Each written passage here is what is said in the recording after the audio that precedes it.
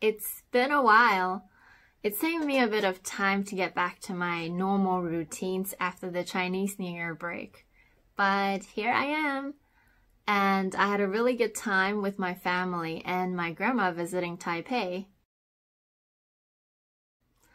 After the Chinese New Year, unfortunately, we haven't stopped hearing about this new virus that started in China and is now spreading all over the world.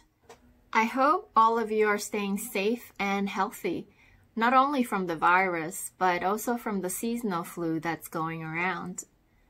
Um, I don't know about you, but I'm not a big fan of wearing masks.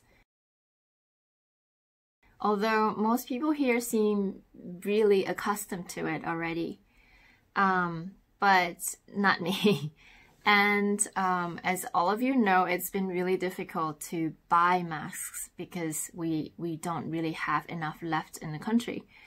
And so I've been using just whatever we have at home and hoping that it lasts until I can get new ones or hoping that the epidemic uh, ends by then. And to deal with this, I found this thing that you can put your regular disposable mask in. It's like a pocket and it protects it from getting dirty. That way I just have to wash the outside part. And I've been doing that so that I can use the um, disposable mask for more than just one day. On a brighter note, I had the chance to go on a trip after the Chinese New Year, and it was my first time to drive from Hualien all the way to Kending, and I got to see most of the East Coast, which I haven't seen before, and it was breathtaking.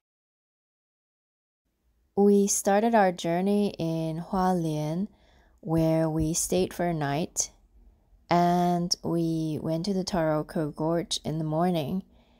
Then we started driving down towards Dulan, which is a place close to Taidong, where we stayed overnight.